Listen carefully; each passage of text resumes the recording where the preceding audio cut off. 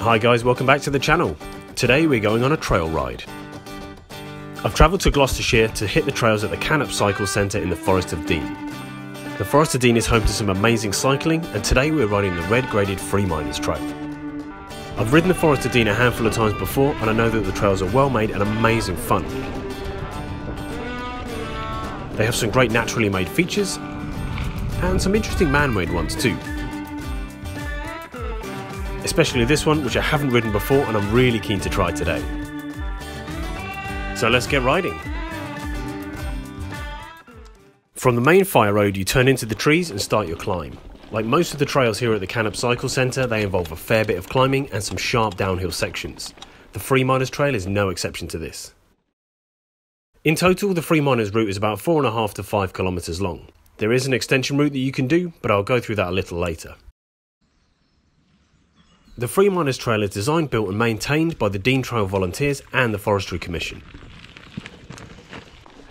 It's known to be a challenging and varied single track trail that offers something for most riders, from tricky switchbacks and climbs to rooty drops and hairpin bends. In my opinion, one of the trickiest things about the whole trail are the roots. It's hard to see them on camera, but especially in this first part, the lattice of bumpy roots on the ascent makes what would be an easy climb into much more of a challenge.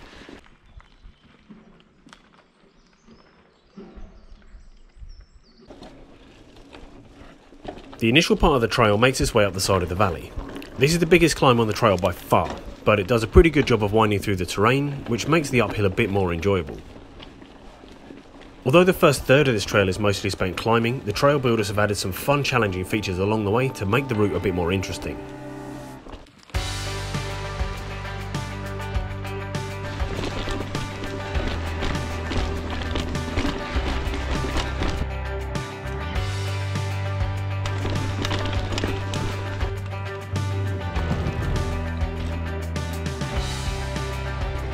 Although a lot of fun, these rocky sections and wooden jumps are just warm-up features.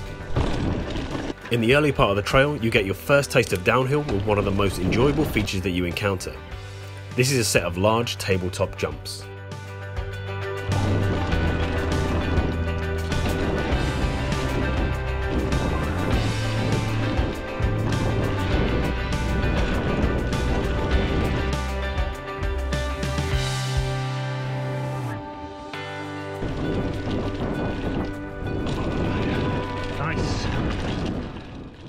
Once you've cleared the jumps, you continue your way up the hill.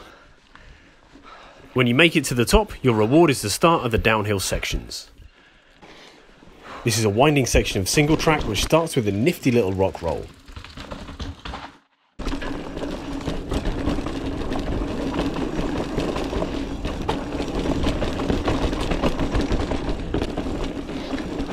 Oh, nice and flowy there.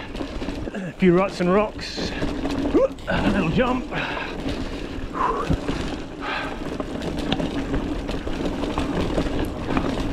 Oh, it's nice to be going downhill after that climb.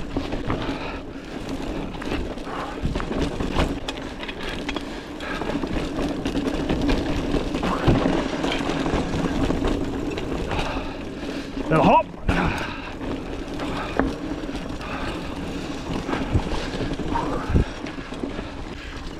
Large parts of the Free Miners Trail have been left natural, which gives the trail a nice outdoor feel. However, in the winter, parts of the trail can get pretty slippery, like those roots I was telling you about. I've ridden the extension loop in the winter and it was a killer. The descents were a slop fest, the corners were pure slippery mud, and the rooty uphills were like riding on ice. Conditions today, on the other hand, are the opposite. It's hot and it's really dry, this definitely makes the routes easier to manage, but the corners are slightly loose. But all in all, this is great fun to ride. To get an idea of how bumpy the trail is, take a look at how much the camera is shaking.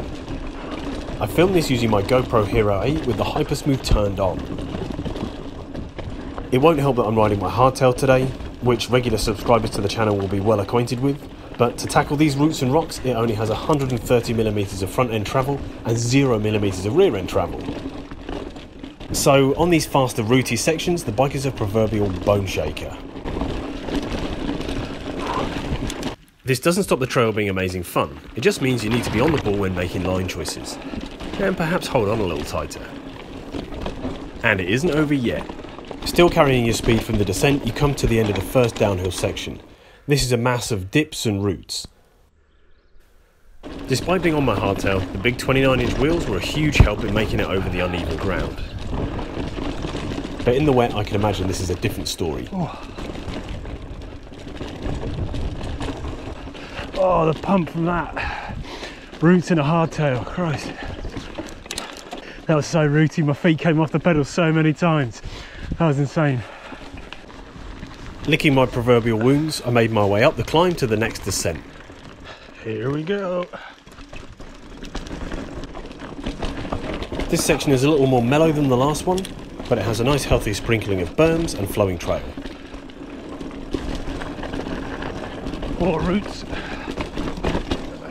Although there's nothing very technical about this section, I was quite glad to be cruising down this one.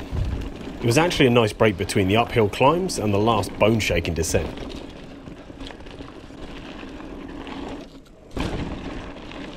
Once over the fire road at the bottom, you come across a really fun little area with a number of man-made features to play on. This one in particular I was eager to try. I've never ridden a skinny like this before, so here it goes.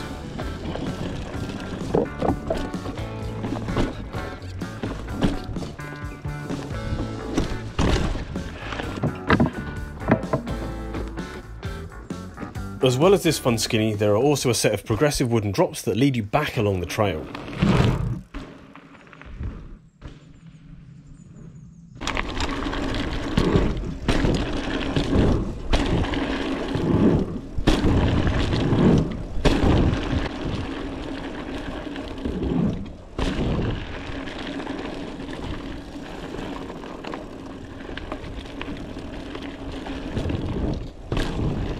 Once you make your way down to the end of the wooden features, you have the option of continuing the free miners or taking the extension trail. The extension trail joins the big climb up the Blue Verderers Trail and then takes a sharp right down through the forest over some more flowing features. The extension adds on another 5k to the trail before joining back onto the end of the original Free Miners route. With it being so hot today, I decided not to take the extension and to continue on the original trail. The remainder of the trail is slightly undulating with no big climbs or descents to speak of. The designers have done a great job to keep this section fun by using the terrain and adding interesting features throughout. Things like berms, rock gardens and wooden features can be found all over the rest of this trail. Not only do these features add a bit of spice to the ride, they also help keep the section within the red technical grade.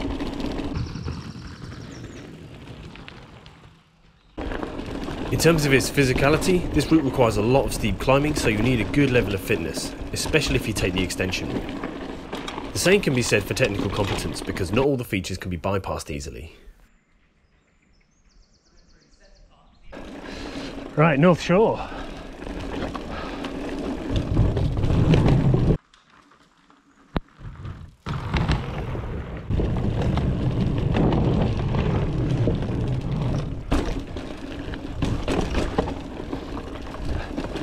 Oh.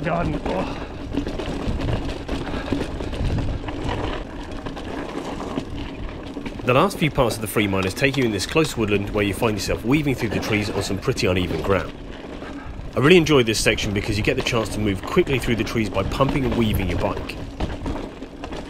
It's a really good training ground for a technical style of riding that you only tend to find on natural trails. On surface trails, a lot of the awkward bumps tend to get smoothed out but it's great for teaching you the importance of body position and spatial awareness. You're moving your bike around a tight space whilst also focusing on the uneven ground.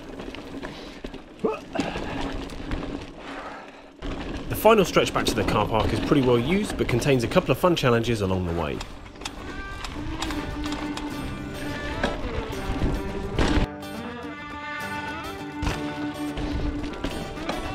On my YouTube channel, we've now ridden the blue and the red trails here at the Forest of Dean, but there's so much more to explore.